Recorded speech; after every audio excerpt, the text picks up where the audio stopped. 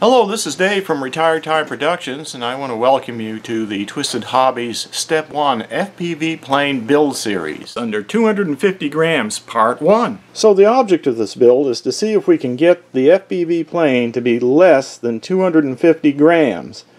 And this is going to be quite a challenge, but I have all of the stuff here, all the FPV hardware and the plane and everything here, and we're going to weigh it on the scale and see what happens. So here's the all-up weight of the Step 1 you can see right here 207 grams.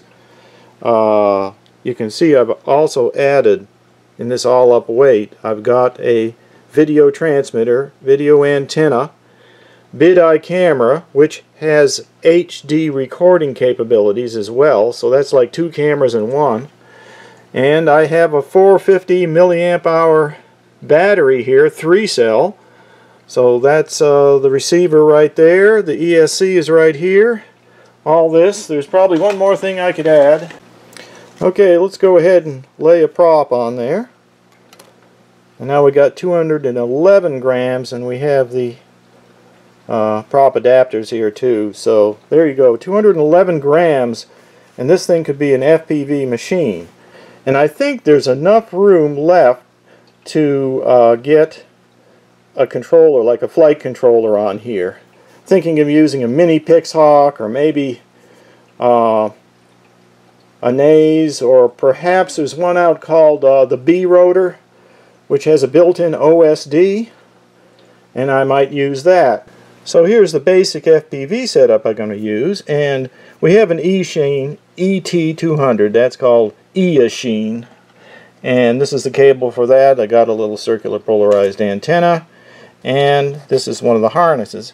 So this is going to be the basic FPV setup, but I may use a flight controller with a built-in OSD as well and add that to it. I'm going to be using these components for the power system.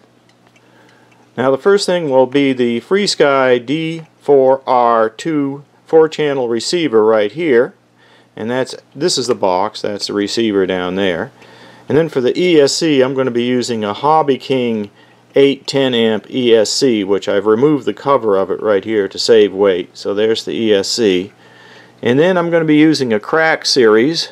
This is from Twisted Hobbys a crack series motor which is a 2206 1450 kV and then for the power for the lipos I'll be using uh, either a 2 cell or a 3 cell 450 size lipo now for a closer view of the parts, here is the receiver right here, FrSky D4R2. This is the Hobby King ESC right here. Here's another look at the receiver. Here is the Crack Series motor right here. Then we have the two batteries. Either a three cell like this one or a two cell like this one. So as you can see this plane is a pusher prop similar to a Skywalker and uh, it has a pretty good size wingspan, not as big as a Skywalker, but it's pretty good size. It's 850 millimeters, which is what it says on the box. And uh, it does have some, some of the similar features of a Skywalker, Although it doesn't have the T-tail, it has a regular tail like this. So it looks like it'll be pretty good for FPV. And I just wondered if anyone was interested in this type of thing. If you are interested in sort of a, a ultra micro or micro FPV plane that's under 250 grams, so this doesn't need to be registered with the FAA since it will be under 250 grams. So just let me know if you're interested in this build and I'll continue it if you are. Just leave me a comment underneath the video.